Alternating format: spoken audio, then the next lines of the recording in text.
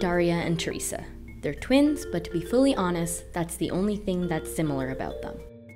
Daria is very studious. You can't find her without her anatomy textbook. Once she's finished her undergrad, she wants to go to medical school and become a surgeon. Teresa, on the other hand, can't wait for graduation to come. You can find her slacking off from her assignments and look up flight tickets. She loves exploring the world and wants to travel once she's done school. During her spring break, Daria went to the Dominican Republic to volunteer at a hospital.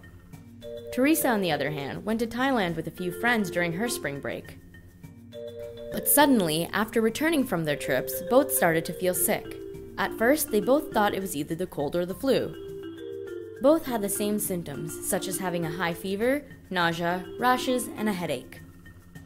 Daria contracted dengue fever while hosting a clinic in a rural area.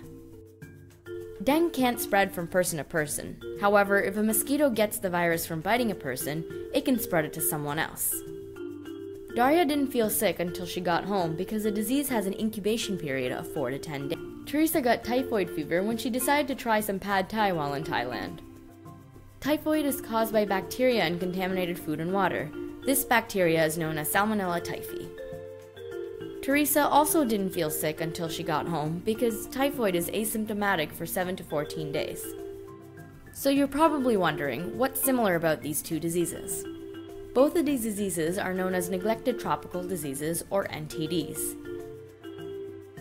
NTDs are infectious diseases that predominate in the tropics or hot places. Examples include India, Brazil, Central Africa, and Southeast Asia. Within these countries, they can be found in rural communities, urban slums, and displaced populations near the equator. These infections can be attributed to poor sanitation, unclean water, and mosquitoes. NTDs are caused by a variety of pathogens, including bacteria, viruses, protozoa, and parasitic worms. These diseases are known as neglected because they do not receive greater treatment options or funding. So you're planning a trip to the tropics and you're wondering, how can I prevent myself from getting NTDs? The first option is vaccination.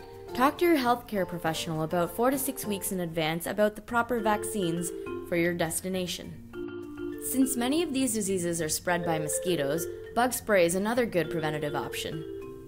Two examples of bug spray are DEET and picaridin, both can protect you for about 2 to 6 hours, but the difference is that picaridin is nearly odorless. Make sure to drink only bottled water and stay away from tap water. Additionally, you should stay away from high risk foods such as undercooked meat or unpasteurized milk. With regards to sanitation, wash your hands often and carry an alcohol based hand sanitizer. Daria and Teresa hope to learn from their mistakes in the future. Daria realized that she had forgotten to pack her bug spray, while Teresa realized that she drank some tap water while in the tropics. Maybe their forgetfulness is the only thing they have in common after all. For more information on NTDs, visit the World Health Organization's website by clicking this link below.